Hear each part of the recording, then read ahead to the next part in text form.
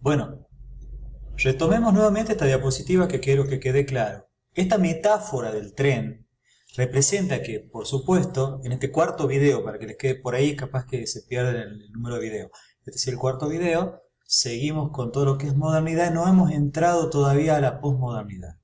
Seguimos desarrollando todos los acontecimientos filosóficos, políticos, económicos, culturales que se fueron dando en Occidente con gran relación y dependencia de lo que ha sido cuando descubren América en el siglo XV, que a partir de ahí creo que le debe mucho Europa a nuestra, eh, a nuestra, a nuestro América, ¿no? Le debe mucho y de eso no se habla tanto, digamos. Un momento. O sea, entiéndase bien lo que quiero decir con eso del tren de la modernidad. Fueron los países pujantes entonces que llevaron adelante todos los movimientos culturales más importantes en, en Occidente, en Europa.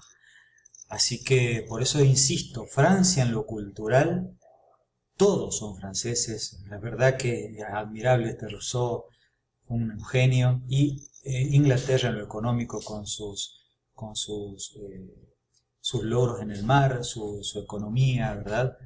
Eh, bueno, vamos a pasar ahora, a, vamos terminando con lo que es modernidad y vamos a ir como tratando de hacer alguna, algunas, algunas síntesis también, más síntesis de síntesis. La modernidad duró, dominó, duró como 500 años, digamos, la forma de vivir de Occidente. Eso fue así. Antes de esos 500 años del siglo XIV hacia atrás, muy pocas cosas habían sucedido, lo habíamos dicho en otro teórico. Pero realmente en estos 3, 4 siglos pasaron un montón de cosas, ¿no? Y la estamos hablando ahora. Es una cultura, ¿qué es entonces la modernidad? Es profundidad. Si nos imaginamos un mar, por ejemplo, metafóricamente hablando, que tanto me gusta a mí, con, sigamos con el tema del práctico metafórico, si yo me imagino la modernidad, me imagino el mar en lo profundo, una, sociedad protagónica, profunda, nacen cosas, surgen cosas de, de esta modernidad. ¿sí? Una cultura profunda realmente, de investigación, de conocimiento, de descubrimientos en todos los órdenes. ¿Quién lo logra? El hombre esa figura que en otro momento no existía. El hombre se ha despertado en la modernidad, insisto, insisto con eso. Entonces, esta sociedad, esta sociedad moderna, es un tipo de sociedad disciplinaria, obviamente. Hay nuevas ideas en cuanto a la ética, en cuanto a los espacios de, la, de libertad, la idea de deber, normativa, obediencias normativas, éticas del trabajo de los ciudadanos y realza la seguridad. Hay una función central del Estado de sus ciudadanos. Es una forma de vida, como decimos, que cree, por supuesto, en el progreso. Estos conceptos que pongo acá en esta placa son conceptos sumamente ricos que hablan desde lo filosófico con la dialéctica hegeliana, por ejemplo, para el que le guste algo de eso, no voy a ahondar. Es una época de conflicto, por supuesto, las mismas revoluciones que estamos diciendo han sido épocas de conflicto. Hay una moral universal de todo el hombre, todo el hombre, el hombre todo, no estos, estos son distintos, una moral universal, una visión positiva de la permanencia, una forma de vida que cree, entonces insistimos en el progreso y en el desarrollo. Dos conceptos, progreso y desarrollo, que van a ser muy cuestionados en la posmodernidad, porque teóricamente ya lo estamos viendo, toda esta devastación, todo este dominio, si bien generó un montón de avances en lo científico, en, en las sociedades, también trajo muchos problemas para el planeta. La revolución industrial, muy bien explicada por Nicolás, yo no me voy a meter ahí, pero la revolución industrial obviamente, que con esa migración de gente del campo a la ciudad, tenemos que comprender, tenemos que, interrelacionar todos estos conceptos que estamos hablando y comprender que la, la revolución industrial fue un factor importantísimo para la, no para la transformación solamente de las, de las ciudades, sino para desorganización de esos espacios que iban de manera orgánica relacionándose con la naturaleza y todo este avance en, el concepto del trabajo, por ejemplo, en los avances de la técnica, de, los elementos de trabajo, como explicó también en el teórico del Nicolás, todas estas cuestiones se fueron, fueron haciendo obviamente que el hombre transforme la naturaleza de una manera despiadada, para nada, digamos, equilibrada. Concepto dificilísimo hasta el final de lo que vamos a hablar. Desde la Edad Media hasta ahora, antes de la media antigüedad, siempre el concepto más complejo en el contexto que estemos hablando, en cualquiera de los contextos va a ser los equilibrios. Y si no, pónganse a pensar ustedes en eso. ¿A dónde hay equilibrio? En ningún lado, pero no importa. Sigamos, porque si no me voy a ir para otro tema que me encanta, que es que ya lo vamos a ver eh, más adelante acá en la, misma posmodernidad.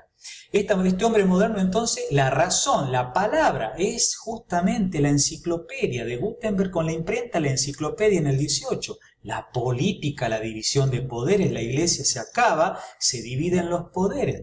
La persuasión, es el hombre, es el sujeto que convence, aquel que dice, con este relato se soluciona el mundo. Por ejemplo, el relato marxista. Por ejemplo, el relato capitalista. El relato iluminista. Estamos, el, el relato cristiano. Esos cuatro grandes relatos van a entrar en jaque en la posmodernidad. Con Lyotard. Para quien lo quiera por ahí conocer un poco más, Jean-François Lyotard, francés, no podía ser otro, dice que sucede esta muerte de los grandes relatos en la posmodernidad. Como no está en una placa, lo quería comentar.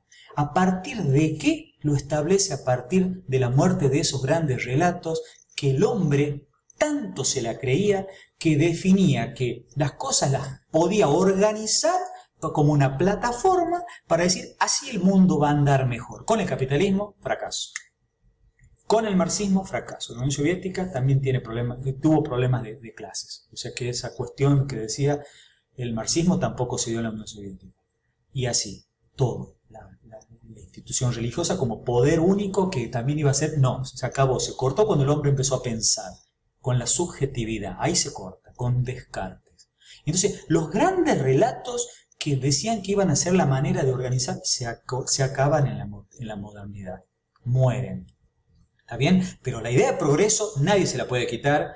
La idea de desarrollo nadie se, la puede, nadie se la puede quitar. Las migraciones de gente, las transformaciones de ciudades con la revolución industrial, la caída de la Bastilla con la muerte del Luis XVI, se acabó el acabose de la monarquía, la aparición de estas ideas de Luc, Rousseau y Voltaire. Nadie puede decir que eso no sea algo apoteótico. ¿sí? Googleen que es apoteótico, por favor. bueno. Las visiones de la modernidad, les voy a meter un poco de bomba si terminamos con, modernidad ahora. Las visiones de la modernidad las podemos un poquito organizar también. Miren los hermosos mapas conceptuales que pueden sacar de acá entre lo de Nicolás y esto.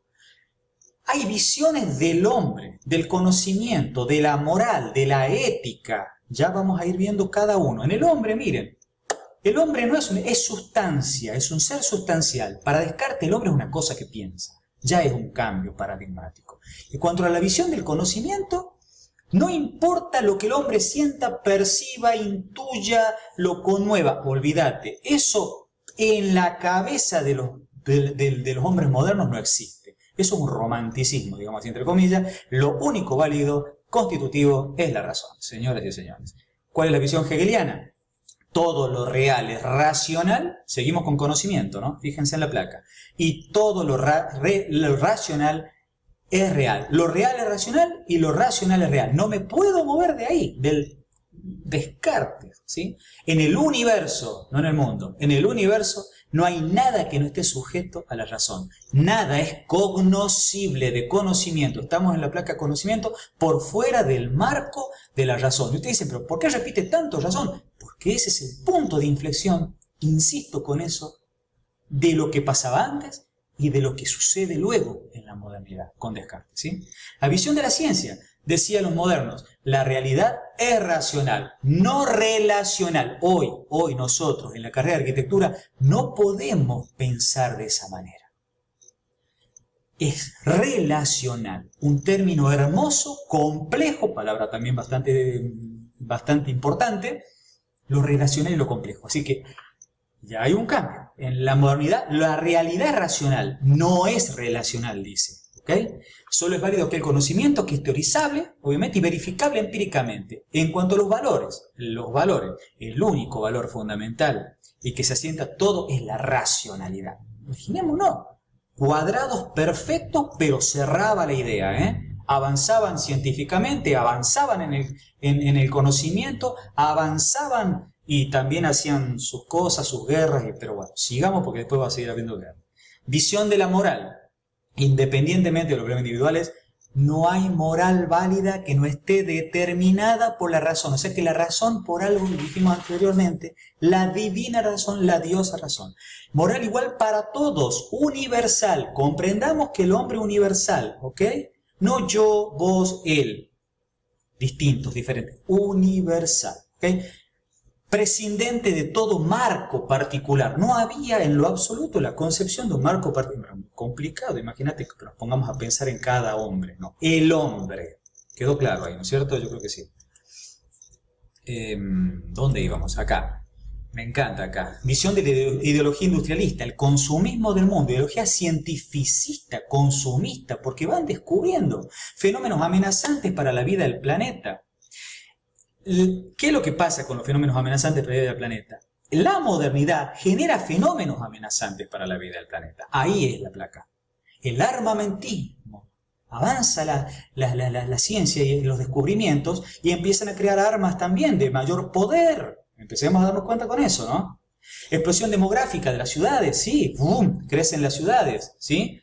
Contaminación crece en las ciudades, hay desorganización, no saben cómo hacer para solucionar los problemas de las ciudades porque no la razón daba, pero no para solucionar todo, ¿sí? Hay cosas que se les escapaba, se les escapaba la tortuga. Contaminación ambiental, conversión de la razón científica en razón instrumental, significa, o sea, uso la razón como un instrumento para algo que quizá no esté tan piola, ¿no? No esté tan bueno de hacer como lo armamentístico, esto que estamos diciendo. Vamos a ver si estoy llegando. Sí, creo que llegamos bien. Con la dos últimas, visiones de la modernidad. En la ideología industrialista, completemos la ideología industrialista. La conversión de la razón científica en razón instrumental, entonces. La razón al servicio de la muerte. Estamos hablando de esto que estamos viendo, de las guerras y de también la manipulación científica. Si avanza la ciencia, avanzan también los peligros para muchos, para algunos, otros no tanto. No sé, porque el pensamiento de hoy es diferente, pero si avanzan los riesgos, ¿no? de cómo manipulamos las cosas. Entonces, ¿cuáles son los modelos para terminar con la modernidad que entran en crisis? La democracia, la ciencia y la industria. Crecimiento de la, angustia hoy, vamos pensando, empieza a suceder en los finales de la modernidad, crecimiento de la angustia, escepticismo de que todo se puede solucionar con la razón. Aparentemente empiezan a decir, guarda que no, hay descontrol en la ciudad, y problemas de, hacinamiento, no todo lo puede resolver, se, está, se le está se le está dificultando con tanta gente también dentro de las ciudades, ¿no? Pérdida de sentido de la existencia, neurosis personales, insuficiencia para terminar. La insuficiencia de todos los modelos teóricos, atento, método científico de la modernidad, todo lo creado, fíjense bien, para solucionar lo que en la posmodernidad del hombre ha ido descubriendo. Ahora nos vamos a adentrar luego qué es lo que aquello el hombre ha ido descubriendo, que todo lo creado en la modernidad no puede ser resuelto y no le puede dar una solución. Acá terminamos entonces con lo que es la modernidad y vamos a pasar al siglo XIX viendo un par de ciudades, en esas ciudades un poco de ese descontrol por el hacinamiento, por la congestión, cuáles son las soluciones, a quién le encomiendan las soluciones de reestructuramiento, de reestructuración de las ciudades, para que veamos algo de arquitectura, pero todo esto previo es pensamiento. Y la materia epistemología es que tenemos que pensar, tenemos que conocer, tenemos que interrelacionar y darnos cuenta que todos los paradigmas de cambio que se van dando a lo largo de la historia no son hechos aislados. ¿Mm? Ahora que tengo un 30 segundos los digo. No son partes. No puedo entender el iluminismo, revolución, eh, renacimiento, bar, no, no. ¿Cómo se enlazan? Porque ahí va el conocer. Ahí es donde nosotros queremos ese tipo de alumnos, que sepan hilvanar cómo se van uniendo las cosas. Cómo se va uniendo la sociedad y los comportamientos, las diferentes culturas. ¿Sí? Entonces, a partir de ahora, vamos a entrar entonces en ver la ciudad de París, lo que sucedía en este siglo XIX y lo que pasaba también en una ciudad muy conocida para nosotros, que es La Plata, y luego todo lo que significó este salir de esta profundidad moderna hacia la superficie, con lo que significa ya en esa superficie en la que nos encontramos, que es la posmodernidad.